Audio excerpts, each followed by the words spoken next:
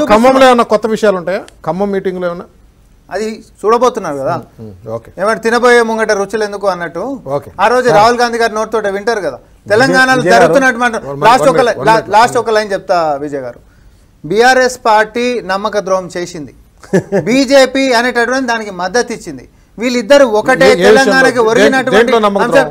అంతేందుకు ఇప్పుడు ఇప్పుడు మీరు మాట్లాడినటువంటి అంశాలల్లా వీళ్ళు లెక్కలు చెప్తారు వీళ్ళు కౌంటర్లు ఎందుకు పెట్టలే? నిజంగా తెలంగాణకి ఎన్ని లక్షల కోట్లు వచ్చినాయి? వచ్చినాయా? ఎందుకు మూగపోయినరు ఒక విషయం సార్. ఓకే ఈ చాలా సందర్భాల్లో జరిగింది అమిత్ షా గారు నడ్డా గారు లెక్కలు చెప్పినప్పుడు మళ్ళీ వీళ్ళు లెక్కలు చెప్పడం సందర్భాల్లో? చెప్తా. ఇప్పుడు ప్రధానమంత్రి గారు వచ్చి ఇనాగరేషన్ చేస్తామని మాట్లాడుతా ఉన్నారు ఎన్నికల కూడా వచ్చేస్తది. మళ్ళీ ఇద్దరు కలిసి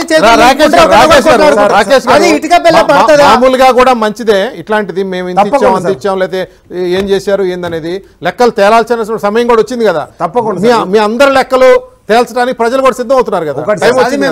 కదా. టైమే నేను ఏమంటున్నా అంటే ఇంతకుముందు మిత్రులు శ్రీనివాస్ చెప్పినట్టు లేక ఏది బీజేపీ మద్దతు తెలిపిందంటే బీజేపీ మద్దతు తెలపలేదండి. రెండు వేల మూడులో తెలంగాణ నియమన లేఖ కూడా రాసేసారు అప్పుడు మూడు రాష్ట్రాలు లెక్క నరేంద్ర- గారికి అద్వాని గారు రాసిన. దాని ప్రత్యేక సాక్ష్యం మన